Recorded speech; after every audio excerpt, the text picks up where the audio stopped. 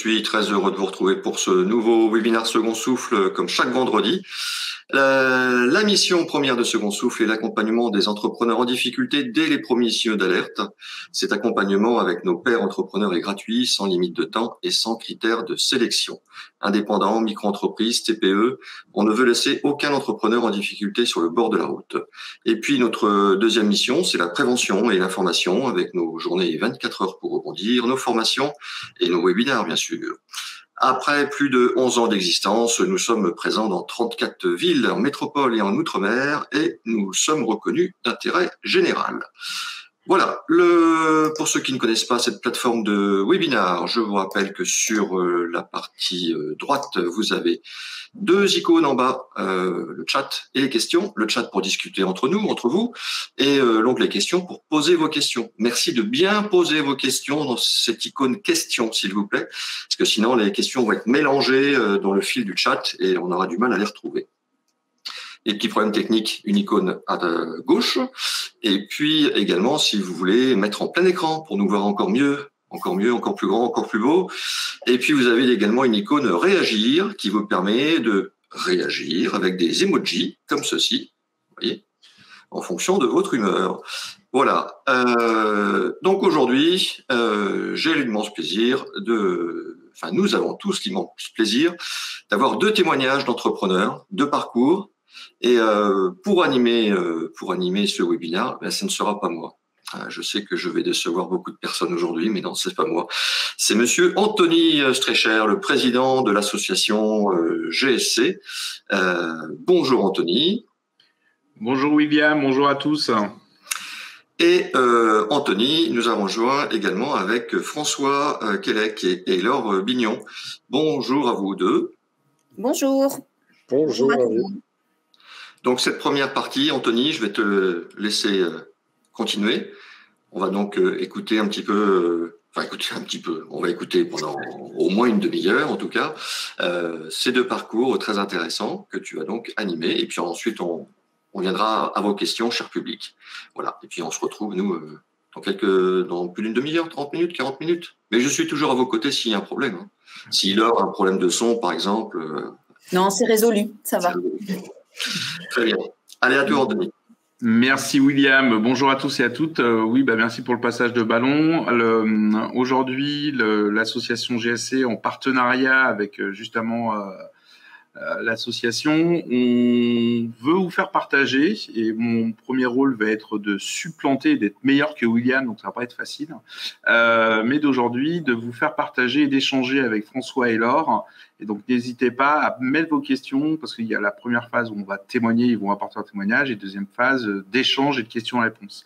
Alors je suis bah, un peu comme vous, je suis certes le président bénévole de l'association GSC, mais aussi chef d'entreprise, cofondateur d'une entreprise euh, depuis un peu plus de 12 ans maintenant. Donc, on a commencé à deux dans un 20 mètres carrés. Maintenant, on est une trentaine de salariés. Donc, l'entrepreneuriat, la gestion du risque, la passion de l'entreprise, euh, je l'ai un peu chevillé au corps et je la connais au quotidien là-dessus.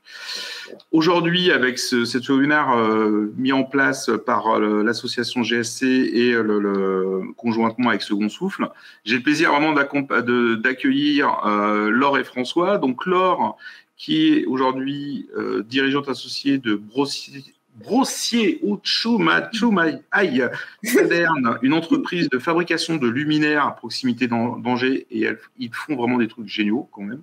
Pensez-y. Allez, voir, allez voir sur le site. Allez voir sur le site.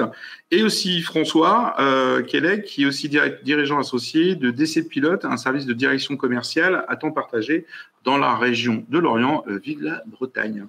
Euh, maintenant, j'ai fait un peu le teasing. Alors, déjà, on va quand même, euh, j'espère que François, tu vas l'accepter, d'abord de, donner la parole déjà à Laure et, ensuite à toi, François. La première chose, pour rentrer dans le vif du sujet, c'est dites-moi tous les deux, brièvement, qu'est-ce que représente concrètement l'association GSC pour vous? Euh, bah, pour moi, l'association GSC, c'est une euh, association qui a destination des chefs d'entreprise, bah, qui nous permet concrètement de mieux dormir la nuit, euh, puisqu'effectivement, elle euh, propose euh, un produit d'assurance euh, qui, euh, effectivement, une solution d'assurance contre la perte d'emploi. D'accord. Et toi, François?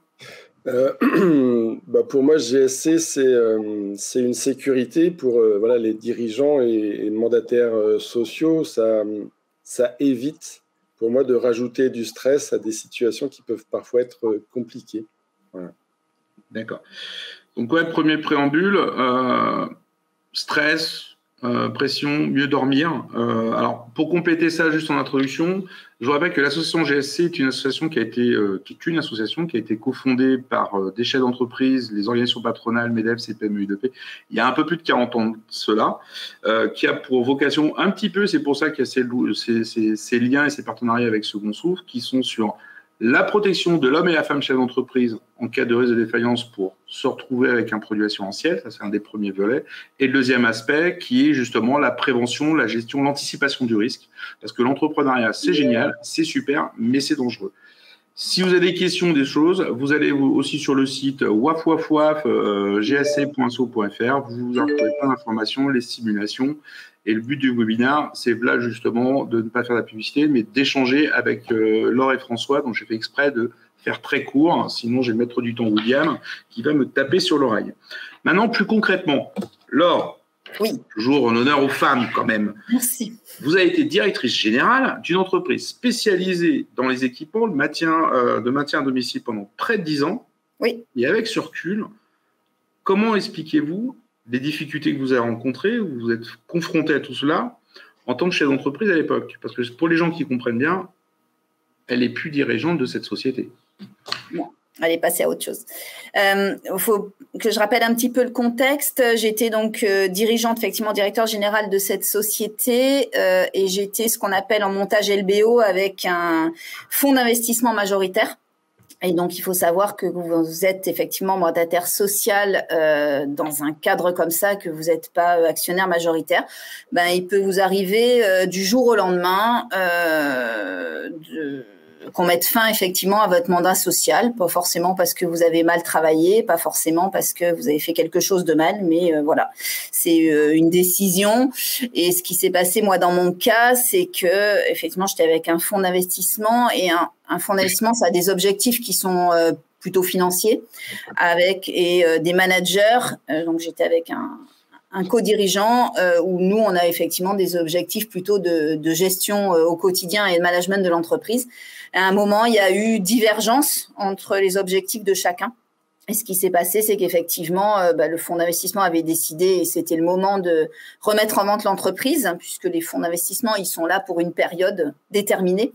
Et donc, ils avaient décidé de remettre en vente l'entreprise. Et moi, qui étais sur un poste, euh, effectivement, plutôt basé sur le développement, la croissance externe, euh, bah, ce poste ne se justifiait plus trop. Donc, voilà, ils ont mis fin à mon mandat social et je suis partie, voilà, du jour au lendemain ou presque.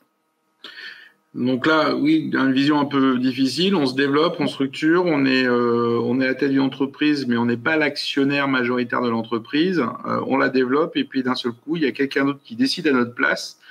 Merci Laure, good job, mais au revoir. C'est un peu ça.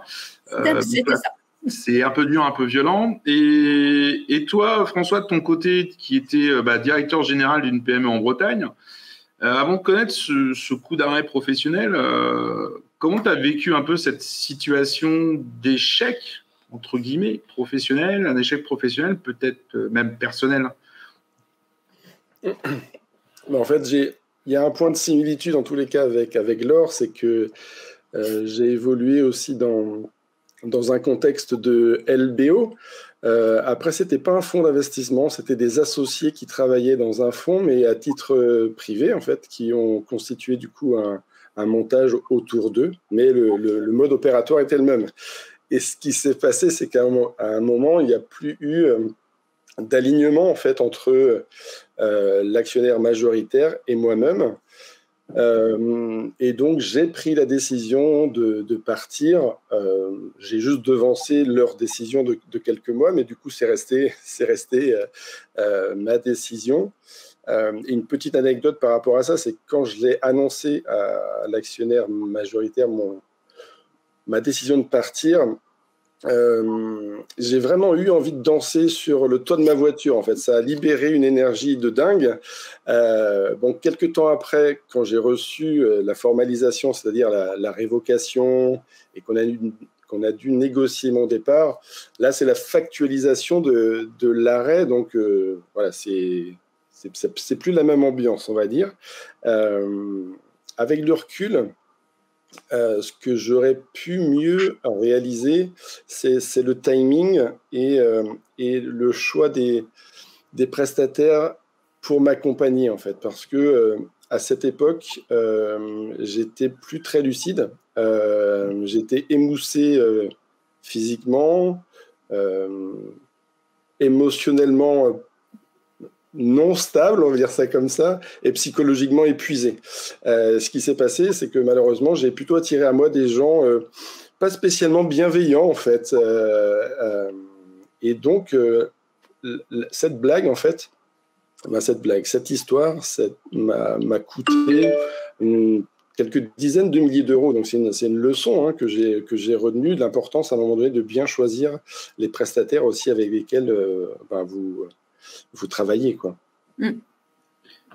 Et hum, alors déjà, François, puis aussi après euh, Laure, c'est que à un moment donné, cette, le regard que vous avez aujourd'hui avec euh, du recul sur cette expérience et ce qu'on appelle vulgairement cet échec professionnel, euh, quelles leçons vous en avez tirées? Je te laisse le soin de, démarrer, Laure.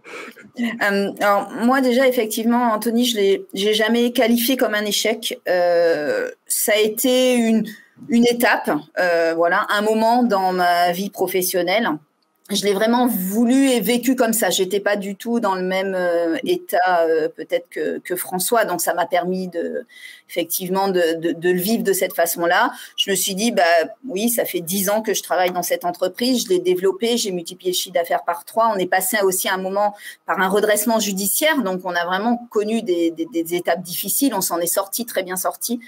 Donc euh, j'étais très fière de ce que j'avais fait dans cette entreprise et je me suis bah Maintenant, aujourd'hui, euh, c'est le moment de repartir sur autre chose.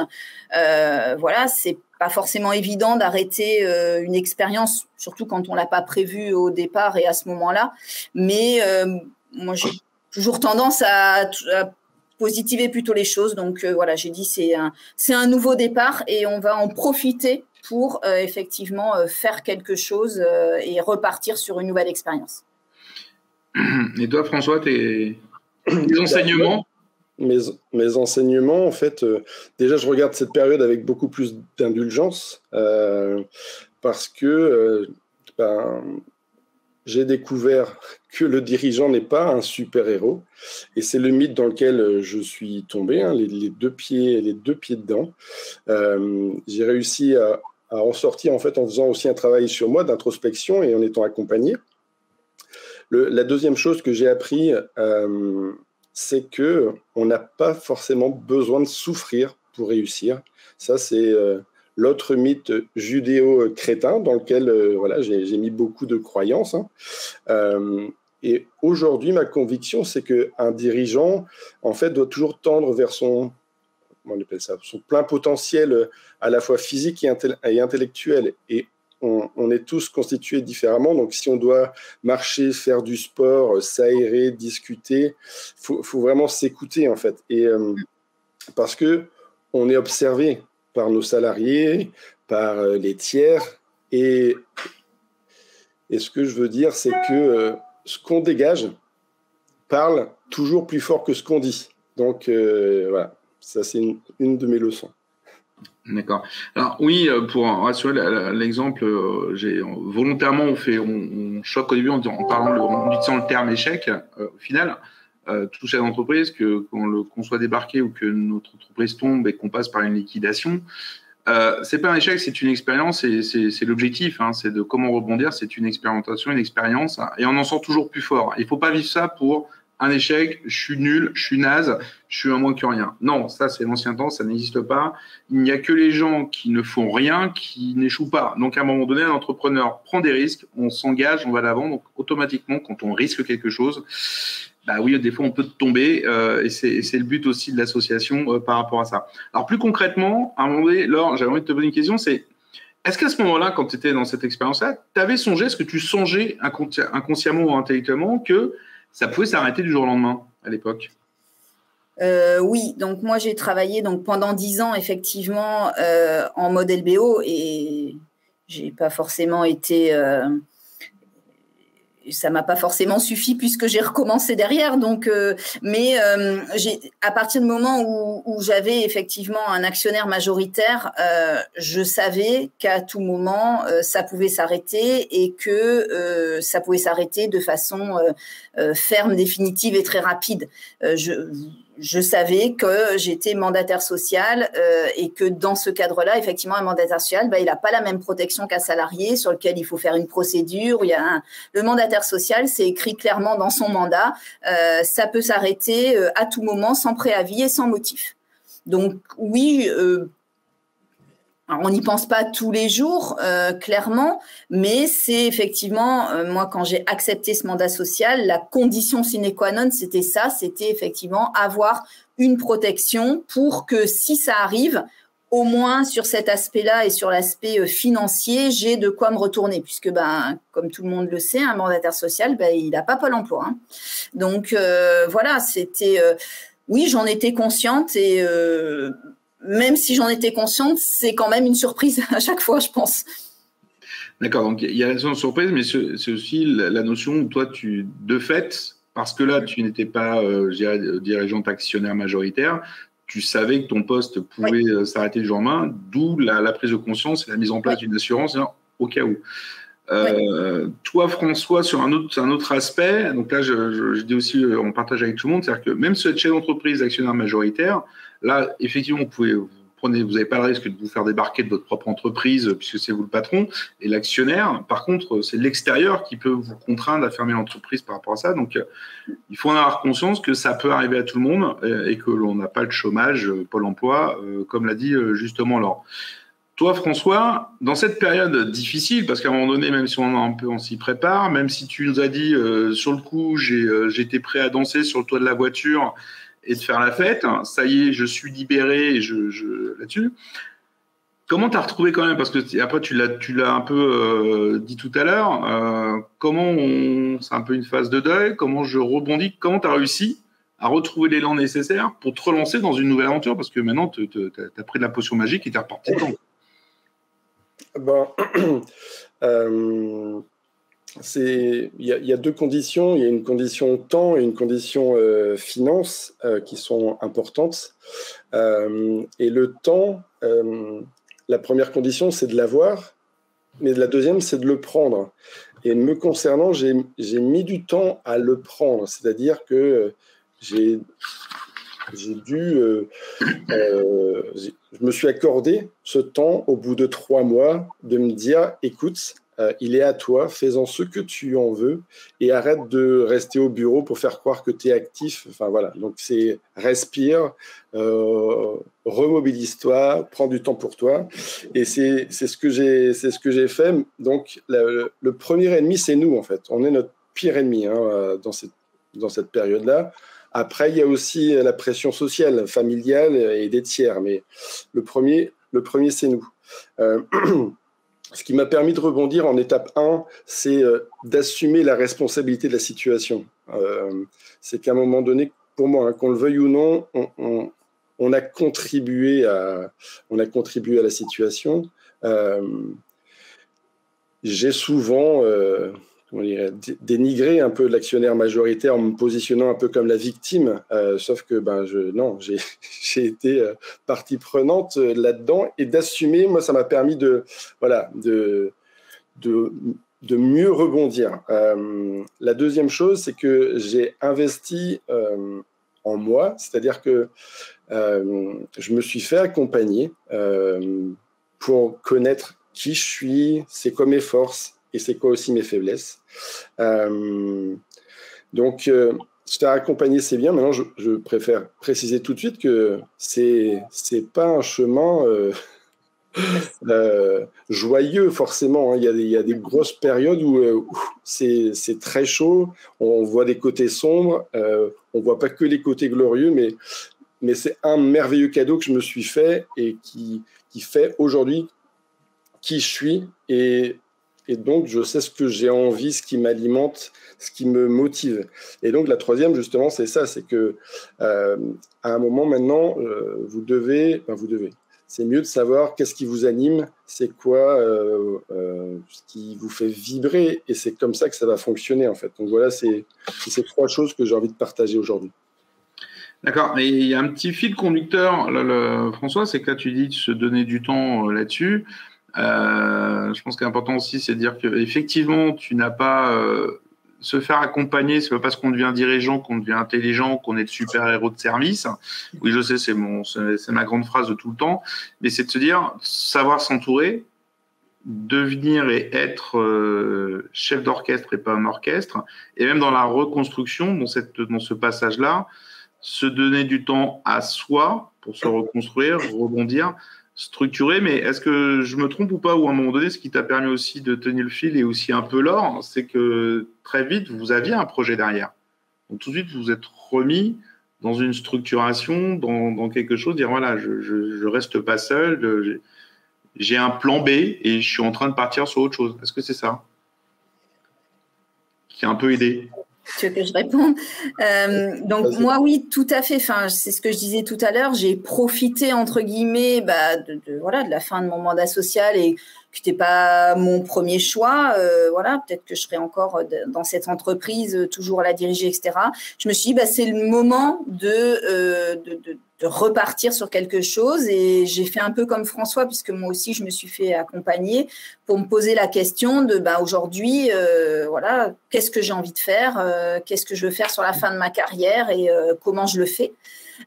donc ça, c'est important quand tu dis effectivement d'être accompagné. L'entourage dans ces moments-là, effectivement, est important.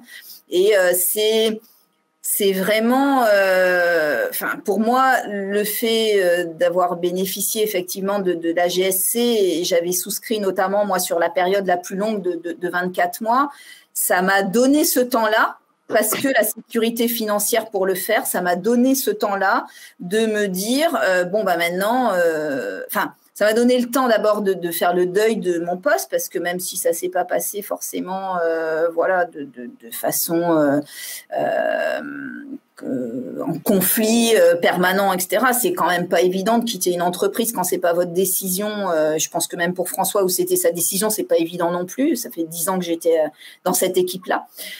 et puis après, de se poser, de se dire, bah aujourd'hui, qu'est-ce que j'ai envie de faire, où j'ai envie de le faire, puisque moi j'étais, j'avais déménagé entre temps sur sur Angers, de définir son projet, de rentrer effectivement dans l'écosystème de de, de, la reprise d'entreprise, euh, puisque c'était le projet que j'avais.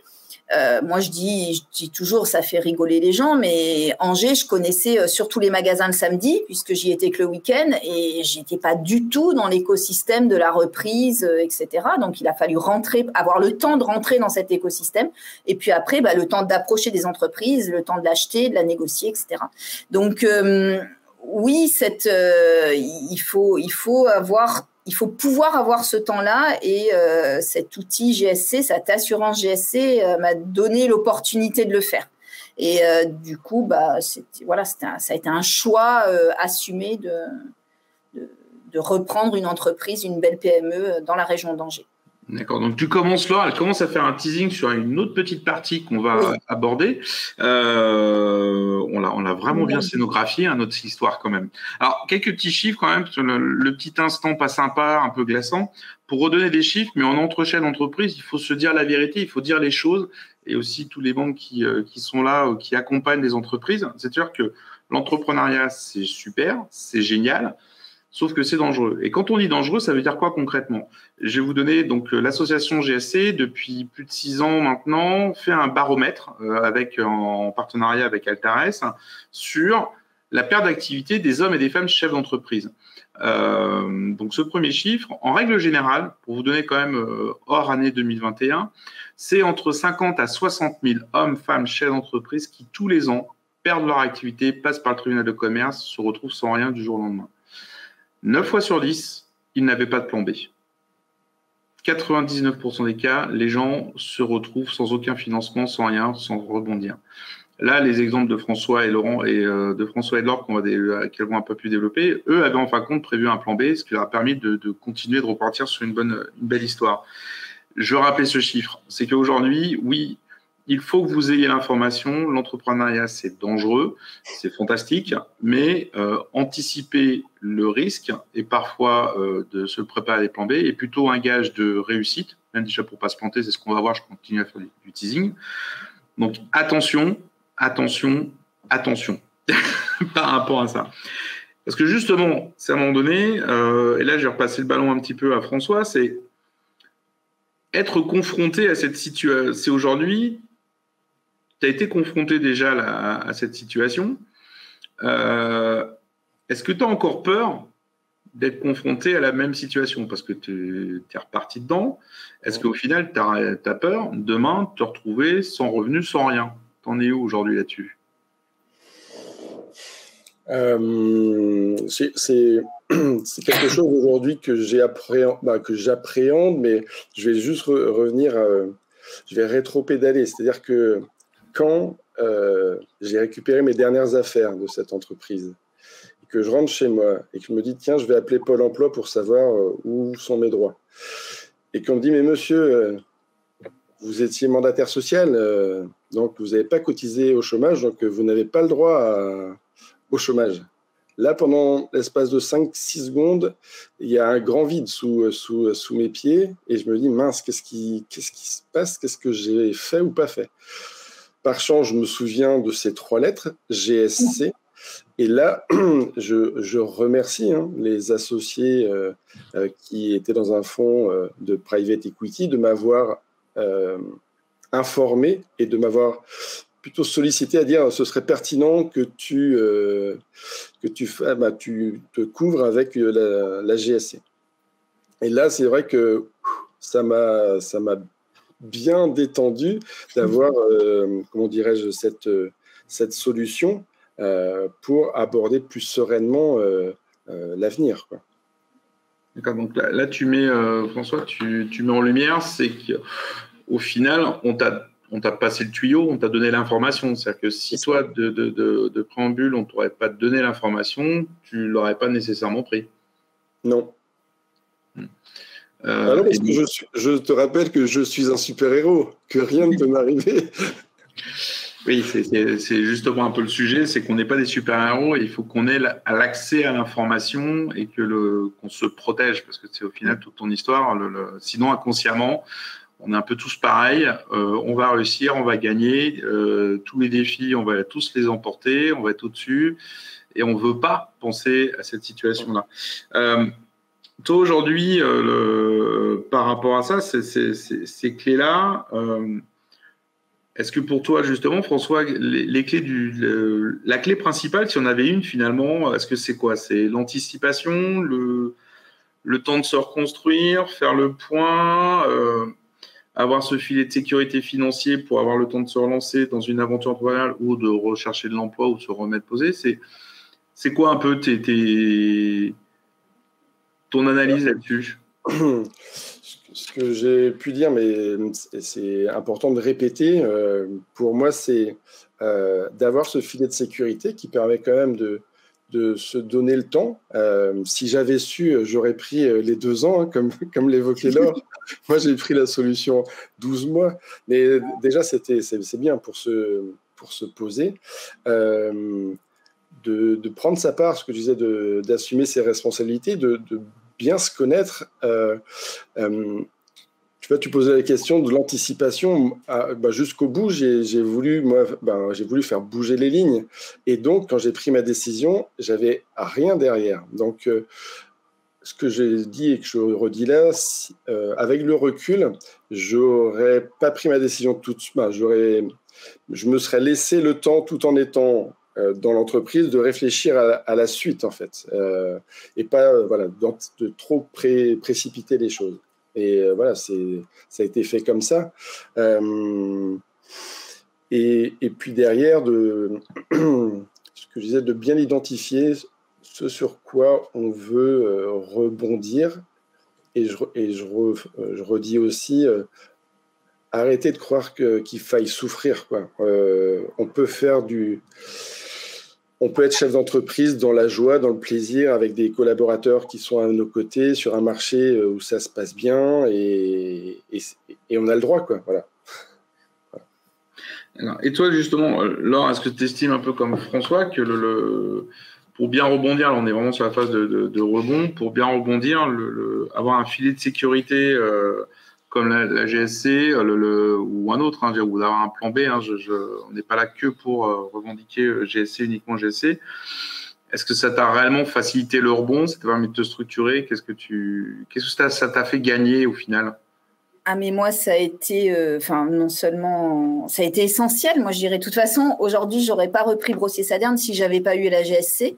Euh, clairement, euh, le fait en plus effectivement d'avoir euh, d'avoir souscrit sur cette sur sur l'option maximale, faut, faut juste la GSC, pour, pour, présenter à tout le monde ceux qui connaissent pas, vous avez le choix. Vous avez le choix de la durée, vous avez le choix de l'indemnisation entre 50 et 70 entre un an, 18 mois et deux ans, je crois. Donc moi, j'avais pris euh, la totale. euh, et, et, oui, si aujourd'hui, si j'avais pas eu ça, je ne serais pas euh, à la tête de Brossier Saderne. Donc euh, pour moi, ça a été essentiel. Ça m'a permis, voilà, ce que je disais tout à l'heure, c'est ça permet, comme François, c'est un, euh, tu te retournes, enfin, tu viens quand même de perdre ton boulot, donc il euh, bah, faut le temps de te retourner, il faut le temps de, réfléchir. Moi non plus, comme François, j'avais pas de plan B, j'avais pas réfléchi, euh, même si j'en étais consciente. Et tout à l'heure, j'ai dit oui, je savais que ça pouvait arriver. Bah, tous les matins, vous pensez pas, bah, aujourd'hui, je vais perdre mon job, qu'est-ce que je vais faire derrière? Donc, il faut le temps de réfléchir à ce qu'on veut faire, essayer effectivement d'analyser, et puis, et puis après, bah, comme moi, mon projet, ça a été effectivement de reprendre une PME dans la région d'Angers sur laquelle j'étais pas, bah, il faut la trouver aussi l'entreprise. Donc euh, deux ans, c'est vite passé. Euh, et voilà, moi, ça m'a permis de, de, mener ce, de mener ce, ce, ce projet-là et c'est au bout de, euh, je suis partie en octobre, au bout de euh, 12, au bout de 16 mois où effectivement j'ai trouvé, euh, j'ai trouvé et j'ai acheté Brossier Sadin. D'accord, donc il y a quelque chose que, que vous soulignez tous les deux, euh, vous me direz si je me trompe ou pas, c'est que c'est-à-dire que, un, le, le, le, vrai plan B que vous aviez, c'est dire j'ai une assurance pour pouvoir mettre à manger dans le frigo, euh, gérer le quotidien, le temps justement de me poser et de réfléchir et de me reconstruire et de recréer. C'est-à-dire que pour que tout le monde comprenne, il n'y avait pas de ça y est, j'ai prévu, euh, j'ai déjà prévu de racheter une nouvelle boîte. Non, c'était c'était pas du... l'objectif, c'était de rester continuer à développer l'entreprise initiale. Mm. C'est dedans, euh, on est à fond et on la développe. Donc c'est bien ça tous les deux. Oui, tout à fait. D'accord. Un petit enseignement, après on, basculera progressivement, euh, petit échange, parce que là on est en train de parler du, rebond et euh, après un entre guillemets, par après une grosse expérience et un changement d'aventure, on va, on, va, on, va, on va le dire comme ça. Euh, quels sont un peu maintenant les enseignements que tout ça vous, vous en tirez pour votre aventure actuelle sur aujourd'hui votre là on s'adresse aussi à des chefs d'entreprise puis même moi tiens moi Là, Laure, François, vous me conseilleriez quoi à Anthony pour euh, gérer son entreprise de 36 salariés qu'il a euh, Qu'est-ce que je devrais faire? Quels seraient les bons conseils que vous pourriez me donner déjà à moi, par exemple? Moi, ce que je dirais, c'est euh, un, et c'est ce qu'on a répété un peu dans ce webinaire, mais je pense que c'est vraiment important, c'est être conscient, un, que tout peut arriver euh, que euh, effectivement l'entrepreneuriat c'est pas une euh, longue route tranquille. je vais je vais prendre un exemple vraiment concret. moi j'ai racheté Brossier Saderne fin février 2020. La première décision que j'ai prise dans cette entreprise, 15 jours après, c'est de la fermer parce que c'était le confinement. Et deux ans après, je suis euh, effectivement toujours dans euh, la pandémie et les conséquences. Et puis en plus, il y a Poutine qui s'est réveillé. Donc, euh, voilà, quand euh, aujourd'hui, le business plan que j'ai fait euh, au moment où j'ai racheté effectivement Brossier Saderne, voilà, que j'ai présenté aux banquiers, que j'ai présenté au fonds d'investissement, ben, heureusement, ils sont encore avec moi. C'était pas du tout ce que j'avais envisagé. Donc, tout peut arriver. c'est pas forcément parce que vous gérez mal, c'est pas forcément parce que vous avez fait une erreur. Euh, donc ça peut arriver. Et derrière, eh ben, euh, il, faut, euh, une fois que tu as compris ça, que tu es lucide là-dessus, il faut arriver à anticiper au maximum pour minimiser les dégâts que ça peut faire. Et je le répète encore, mais la GSC est un outil. La GSC, au moins, s'il arrive quelque chose, on sait qu'on pourra mettre à manger dans le frigo et qu'on dormira mieux. Voilà, donc les, conseils, c'est ça. Après, euh, ben, c'est quand même une, belle aventure. Donc euh, le, dernier, conseil moi que j'aurais, et, François en a parlé, c'est effectivement euh, savoir s'entourer, que ce soit au moment de la recherche de son projet, mais même tout, même au moment de voilà travailler beaucoup avec les réseaux, s'entourer de sa famille et partager, ne pas s'isoler. Ça, c'est vraiment euh, quand, on commence, je pense qu'en en France, l'échec étant euh, assez mal vu euh, et encore assez mauvaise presse, je pense que quand l'entrepreneur commence à avoir des difficultés, il a plutôt tendance à s'isoler qu'à aller vers l'extérieur, aller chercher de l'aide. Moi, je pense personnellement que c'est effectivement pas la bonne chose à faire. Donc, il faut s'ouvrir, il faut aller chercher, il faut les raconter aux autres. Et puis, il y a quelqu'un qui va pouvoir vous aider. Euh, voilà. Donc, vous êtes serein financièrement, vous dormez mieux, vous partagez et vous vous rendez compte que finalement, ce qui vous arrive, ben, ça arrive à plein d'autres. Voilà. Et toi, François, qu'est-ce que tu pourrais me donner comme conseil? Euh, bah, je vais reprendre tes propos, Anthony. Euh, euh, pendant longtemps, j'ai voulu jouer de tous les instruments de musique dans mon entreprise, en fait. Tu vois, l'homme orchestre. Et en fait, tu es pas homme orchestre, tu dois être chef d'orchestre.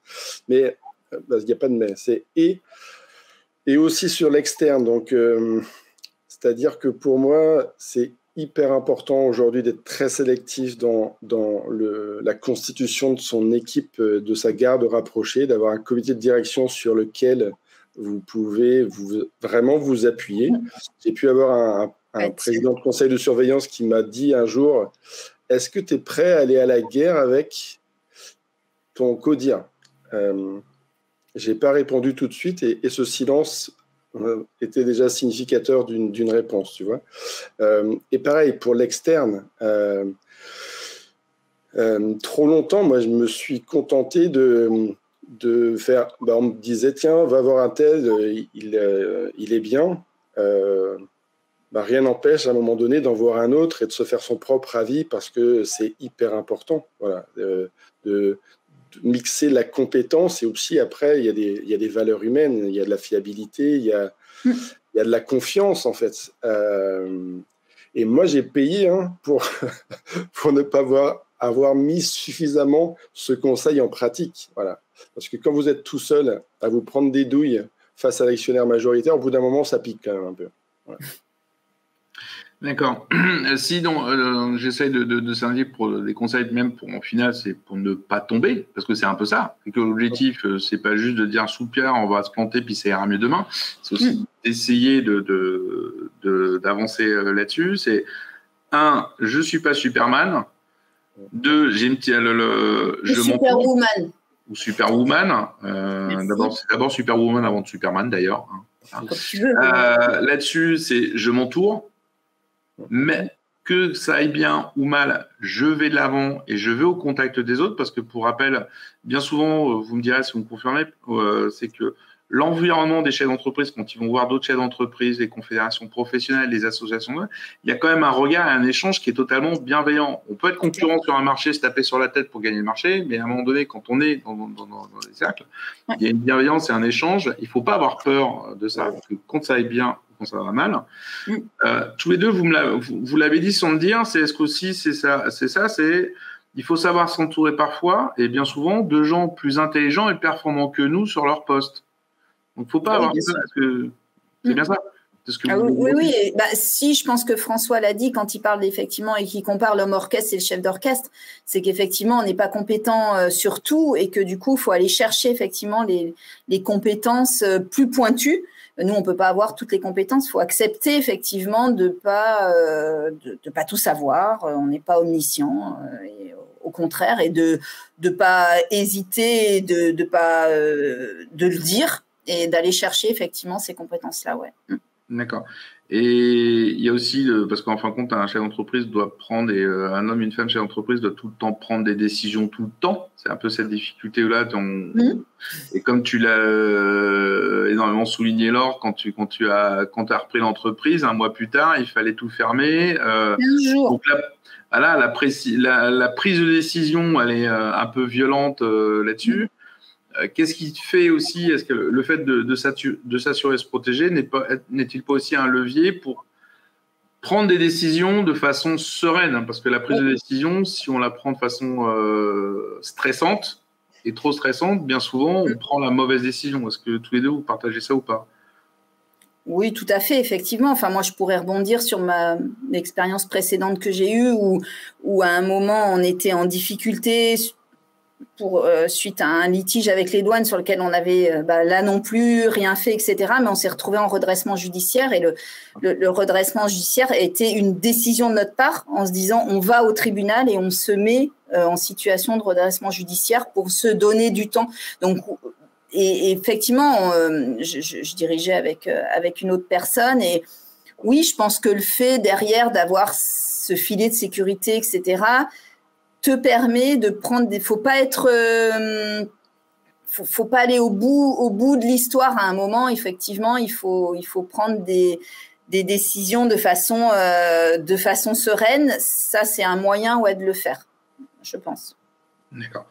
Euh, donc moi, je vais essayer parce que il paraît que j'ai la dure tâche de, de, faire un peu une mini conclusion de transition avant de passer sur la transition des, des, échanges et de, de, de, répondre aux questions. Euh, moi, je dirais que ouais, je, on ne le répétera pas assez, euh, pas suffisamment, mais bien souvent, la clé pour rebondir ou même euh, réussir, euh, même sans entreprise, sans la faire, sans qu'elle tombe, c'est d'essayer de, de, gérer, je reprendrai tes termes, Laure, de d'anticiper l'impensable, anticiper de dire que je peux très bien faire mon métier, mon boulot, mais il y a plein de choses qui peuvent nous tomber dessus.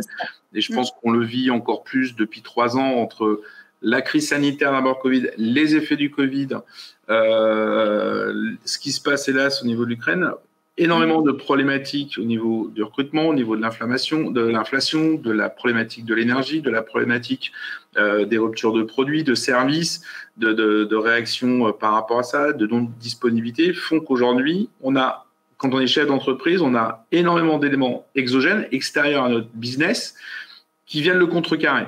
Donc la prise de conscience, si c'est bien ça, je prends conscience, je sais que j'ai des risques extérieurs, je m'entoure, j'en ai conscience, donc je prépare différents plans d'action et plans B au cas où.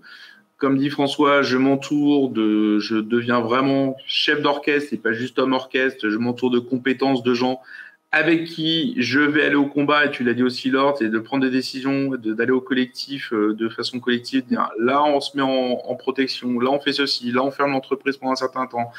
C'est un collectif, il faut l'emmener, mais il faut être sûr qu'à un moment donné, euh, notre garde rapprochée, les quelques éléments clés autour de vous, soient vraiment ceux que vous avez décidé, que vous confiance, quitte, et bien, bien souvent, qu'ils soient plus performants précisément dans leur expertise métier ce que dont vous attendez. Et tant mieux si on a des gens plus performants que nous dans leur métier, ils vont nous apporter des choses.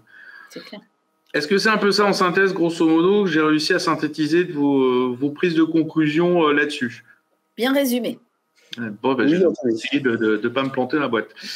Euh, William, y a-t-il des questions? Est-ce que j'ai pas trop débordé? Est-ce que j'ai été assez discret? Je, je te lance euh, mes, mes félicitations et des fleurs. Parfait. Et pour le public, pour ceux qui n'auraient pas compris, on se connaît depuis un petit moment, et puis il paraît que j'ai une tendance à être trop bavard. non. Non, non, ça a été aujourd'hui. Et je suis sûr que dès la fin du webinaire, tu vas te rattraper. Alors, des questions. Oui, j'en profite euh, déjà pour répondre à Agnès euh, qui a posé une question, mais je la comprends pas, votre question, Agnès. Si vous pourriez la, reformuler, s'il vous plaît. Euh, et puis, il y avait également deux questions qui sont passées dans le chat. Euh, je donc, il y a Virginie et Elisabeth. Alors, Elisabeth, je la connais. Merci, Elisabeth, la prochaine fois de poser ta question dans l'onglet questions. Euh, donc on va commencer par la question du chat de Virginie, avant qu'elle se soit perdue dans le fil du chat. Alors, est-ce qu'il est possible de souscrire la GSC si notre entreprise connaît déjà des difficultés financières? Alors, je vais pas être sympa dans la réponse. Enfin, contre, c'est moi qui ai toujours les questions pas sympas. Hein. Euh, c'est une assurance, c'est un produit assurantiel. Euh, et par rapport à ça, c'est l'anticipation et c'est euh, comme tout produit d'assurance, on s'assure quand on n'est pas malade. Et le problème de l'assurance, c'est qu'il est, il est pas possible de s'inscrire quand on est déjà malade. Alors, par contre, le point positif, c'est qu'il y a, comme l'avait dit Laure, faut tout de suite, si vous avez des, quand une entreprise a des difficultés, il faut tout de suite, même les premières, vous avez beaucoup d'associations, vous avez la chambre de commerce, vous avez le tribunal de commerce, vous avez beaucoup d'opérations en amont qui vous permettent de réussir et de trouver donc oui, là, on s'assure, et justement, c'est là c'est l'avantage, c'est vous assurer quand vous êtes bon, en bonne santé. Et si après ça se dégrade, c'est pas, vous payerez pas plus cher. On n'est pas dans un système de bonus-malus comme une assurance auto ou ce genre de choses. C'est du moment vous êtes en bonne santé au démarrage. Après, quoi qu'il se passe, c'est le but de, ce système mutualisé créé par les chefs d'entreprise. Quoi qu'il se passe après, ça va pas coûter plus cher. Vous n'allez pas, avoir de surprise. La seule règle, c'est je m'inscris, je m'enregistre quand je suis en bonne santé. Économique, hein, je parle pas, il n'y a pas d'enquête de santé, de, votre santé financière. Personnelle, entre guillemets, si vous êtes en bonne santé et que vous n'avez pas de maladie. Merci Anthony. Une question pour Laure de René.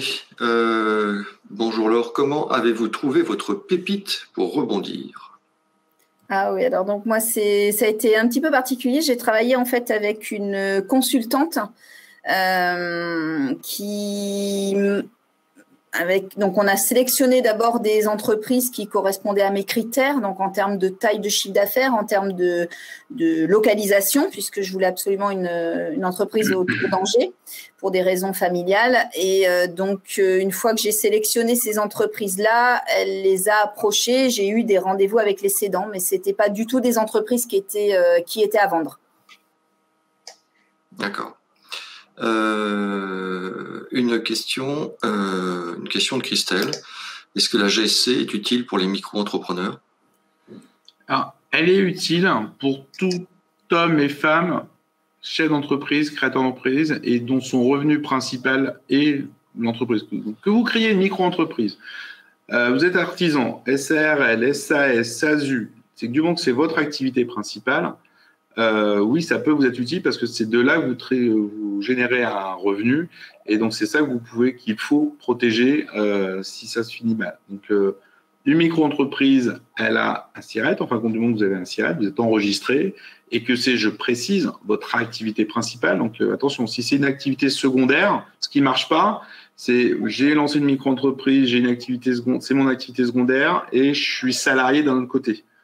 Là, en fin de compte, votre, revenu principal étant côté salarié, ça ne fonctionne pas dans ce cas de figure. Et sinon, si c'est devenu la micro-entreprise et un peu le palier, un peu l'antichambre, pour se dire, tiens, je teste un modèle économique, je, veux le développer, commencer, est-ce que ça fonctionne, est-ce que je grandis derrière? Donc oui, euh, et il y a des gens qui fonctionnent là-dessus, ils sont tout seuls, ils n'ont pas besoin de plus et ça leur fonctionne très bien. Et oui, vous pouvez aussi vous protéger du moment que c'est votre revenu principal.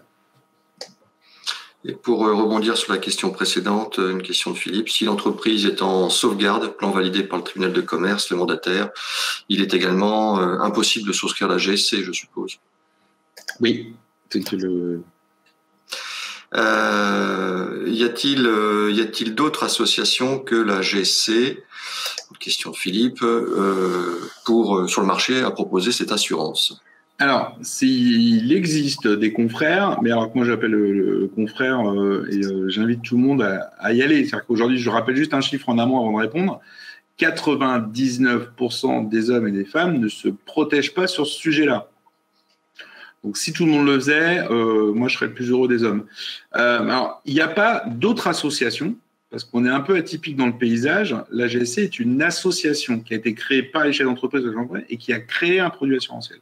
Par contre, on a des, euh, je dirais, il y a des assurances, là, totalement privées et gérées, en fin de compte, euh, par des pôles d'assureurs, euh, mais qui sont supervisés. C'est un produit assurantiel pur et dur. La spécificité de l'association est aussi là de, de gérer un peu l'interface, d'être le, de surveiller le, cette assurance, de surveiller sa bonne gestion et d'être l'interaction aussi avec les chefs d'entreprise et de le piloter. Donc oui, il y en a. Euh, April, euh, vous avez euh, Alliance aussi qui en fait. Donc oui, il y a, il y a des produits assurantiels totalement privés qui existent et allez-y. Enfin, enfin moi, je, protégez-vous. Euh, alors, Agnès, je reformuler sa question. Maintenant, je la comprends, Agnès, votre question. Alors, question difficile à répondre pour vous trois, hein. euh, même pour moi, même si j'ai quelques, moi j'ai quelques chiffres. Combien de temps ça prend pour euh, de rebondir, durée moyenne et durée extrême? Euh, moi, je dirais que ça dépend de ce que on veut faire déjà en termes de rebondir. moi, je peux répondre par rapport à, par exemple, à la reprise d'entreprise. Donc, moi, j'ai travaillé notamment et j'ai suivi une formation au CRA de trois semaines sur Paris euh, sur la reprise d'entreprise, même si j'avais déjà euh, racheté et fait de la croissance externe. Euh, quand vous rachetez pour votre propre compte, c'est pas la même chose et c'est votre projet, donc c'est une autre approche. moi, j'ai mis ce que j'ai tout à l'heure entre la fin de mon mandat social et la reprise de Brossier-Saderne, j'ai mis 16 mois sachant que je n'ai commencé à formuler euh, réellement euh, le temps. Tout à l'heure, je parlais de faire le deuil de mon emploi. Après, voilà, j'ai fait d'autres choses, etc. Le temps vraiment de définir, j'ai commencé à, me dire, euh, bah, ce que je veux faire, c'est je, veux être chef d'entreprise et je veux racheter une entreprise. j'ai commencé à m'inscrire au CRA d'Angers en février. Donc février 2019 et j'ai racheté en février 2020. Moi, je pense qu'il faut entre 12 et 18 mois sur une reprise. Bonsoir. Euh, ouais, moi, quand je calcule, euh, j'ai pas repris d'entreprise. Euh, j'ai créé ma structure et après, je me suis associé. Et entre le début et la fin, si on compte bien, c'est 14, 14 mois ouais, qu'il m'a fallu. Donc, ce que disait Laure, entre 12 et 18 mois, me semble être la fourchette qui, qui, score 80% ou 90% de, personnes.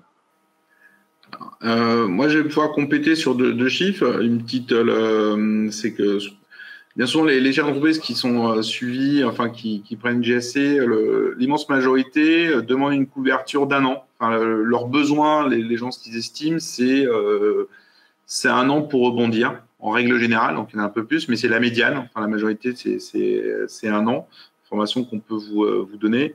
Euh, après, ça va être un petit peu élastique suivant euh, bah, son histoire personnelle. Est-ce que l'on, parce que ce que dit François Laure, c'est qu'à un moment donné, ils avaient une assurance, il y avait quelque chose qui leur a quand même permis de ne pas avoir à traiter immédiatement la problématique financière. Donc ça, ça va être quand même à gagner du temps aussi en termes de, de rebond aussi psychologique. Euh, et le deuxième volet, c'est que du coup, ça permet après, ça va être en adéquation avec un par rapport au projet professionnel. Est-ce que je veux retrouver tout de suite un emploi ou est-ce que je veux vraiment créer une entreprise ou reprendre une entreprise? En règle générale, quand on reprend une entreprise, la recherche de reprise d'entreprise est beaucoup plus long. la durée est beaucoup plus longue qu'une création d'entreprise. Après, il ne faut pas se précipiter. Euh, donner l'exemple, le temps de la, il faut prendre le temps. Euh, ce qu'on constate, euh, moi-même aussi, hein, je me suis fait euh, un peu comme Laure, mais moi j'avais la chance, entre guillemets, d'être même pas mandataire social dans le directeur grand groupe et me faire débarquer du jour au lendemain avec le siège bébé sorti devant le bureau de l'entreprise et des gages. ça fait un peu mal. vous, avez, vous à Pôle emploi en disant bonjour et l'autre il vous regarde qui vous. Enfin, donc il y a cette phase psychologique où là William pourra aussi rebondir sur l'accompagnement psychologique. Et après, il y a eu le, rebond de OK, je crée une entreprise, je crée mon entreprise, je m'associe, ainsi de suite. Donc la création d'entreprise peut être plus courte, mais au final, ça prend un an si vous voulez bien le faire, se poser, de gérer un peu les plans A, les plans B, comment avec qui je m'associe, comment je prépare, je vais chercher du conseil. Donc à un moment donné, il ne faut pas être dans la précipitation, mm. euh, parce que ça souvent c'est mauvais conseiller. Mais voilà, ça tourne au minimum entre 6 mois à 18 mois. Hein. c'est un peu la, tranche. Euh, euh, est-ce que William, tu partages nos, réponses? Oui, chez nous, la moyenne, c'est entre 6 et 12 mois. C'est un petit peu plus court parce que bah, nous, nous sommes du, des professionnels du rebond, donc on, euh, mais ça peut être de quelques semaines. Hein. J'ai une mission en tête, là, une mission d'un bénéficiaire qui a retrouvé, euh, qui a rebondi par le salariat. Ça a pris trois semaines. Hmm. Et il y en a d'autres. On a d'autres missions de bénéficiaires. Ça fait quatre ans qu'on les suit. Parce que chez Second Souffle, il n'y a pas de limite de temps. Euh, il nous reste euh, six minutes, les enfants, et il y a encore des questions.